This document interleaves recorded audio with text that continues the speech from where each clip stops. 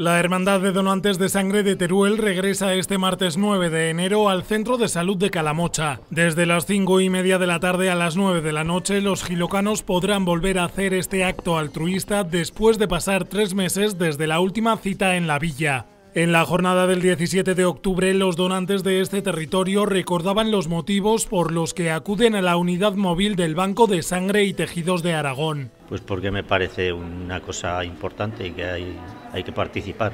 Me parece una cosa interesante, que todos teníamos que participar. Pues para ayudar a las personas que lo necesitan y yo creo que es un gesto que cuesta más bien poco. Mm, es escaso, llevaré 10 minutos máximo. Antes de comenzar con la extracción de sangre, los voluntarios deben rellenar un formulario. Hay que hacer un cuestionario que, que dejamos ahí unas hojas y luego pues pasamos con el médico, le hace unas preguntas, mira las, las constantes y eso si tienes también de hemoglobina y ya está.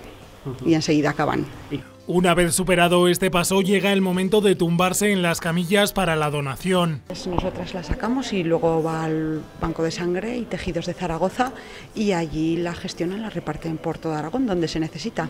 Algunos de los vecinos que pasaron en octubre suelen marcar esta acción en sus calendarios al menos una o dos veces al año. Los hombres pueden donar hasta en cuatro ocasiones y las mujeres en tres. Además, como requisitos, el donante debe ser mayor de 18 años sin pasar los 65, tener un peso superior a 50 kilos y que hayan transcurrido al menos dos meses desde la última donación. Los habituales en la unidad de Calamocha animan al resto de la población a que se sumen a estos actos. Para ayudar a las personas es un gesto que no te cuesta nada, es un ratico que lo puedes sacar en cualquier momento y siempre viene bien ayudar a los demás.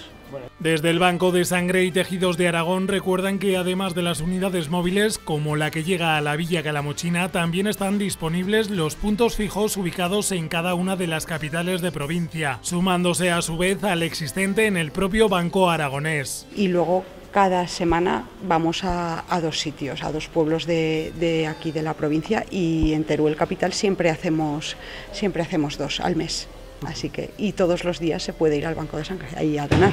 Esta tarde recuerda de 5 y media a 9 de la noche tienes una cita con los donantes de sangre en Calamocha. Cuando donas sumas un hilo más, cuando donas sumas vidas.